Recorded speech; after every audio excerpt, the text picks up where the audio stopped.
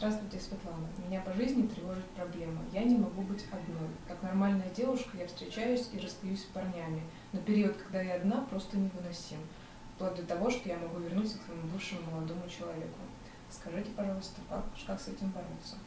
Бороться нужно, потому что вот эта вот неуверенность в себе и страх одиночества может вас даже не к доброму э, привести, не правда ли? Я всегда говорю своим клиенткам, которые очень остро и больно переживают страх расставания и боль расставания, я задаю вопрос. Скажи, пожалуйста, в каком составе ты пришла в этот мир? Она говорит, в смысле? Говорю, ну вот ты у мамы, ты родилась вот в каком составе она? Ну, одна. Я говорю, то есть не в наручниках, не с кем-то там вместе в связке. Нет. Я говорю, скажи, пожалуйста, а в каком составе ты выйдешь из этого мира, да, уйдешь из жизни. Она, ну, одна. Я говорю, смысл пон... улавливаешь?